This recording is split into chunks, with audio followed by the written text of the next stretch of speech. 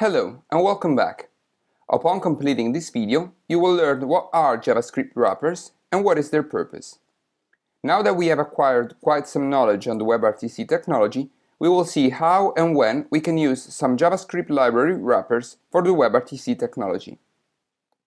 A JavaScript wrapper is a set of functions that simplifies the usage of some other complex functions. A wrapper acts like a middle entity between the developer and the real objects that the wrapper handles. It could also be used to suggest detailed configuration for a subset of objects, depending on the scenario, or it could be used to hide unwanted features. The main benefit for you, the developer, is that you could reduce the effort and the knowledge required to use some libraries. You may ask, why use a WebRTC wrapper? We use it because it provides a set of functions that simplifies the WebRTC usage. It will handle the object's initialization, and then it will start the client registration and media signaling processes.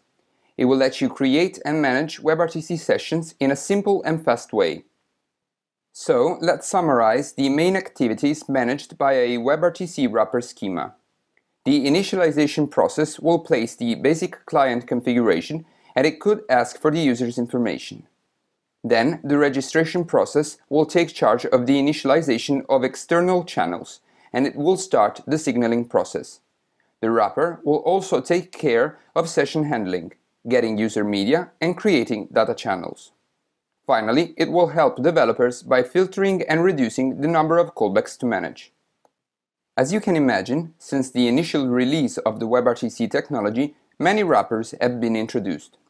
First of all, since in the initial phase of WebRTC development the technology was in continuous evolution, the methods and the usage was changing fast, and the best way to use its API was to use a well-made JavaScript wrapper.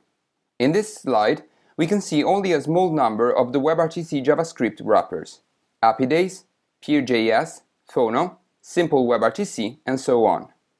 Every WebRTC wrapper reported in this page and in general any wrapper you can find on the net could help you reach your objectives.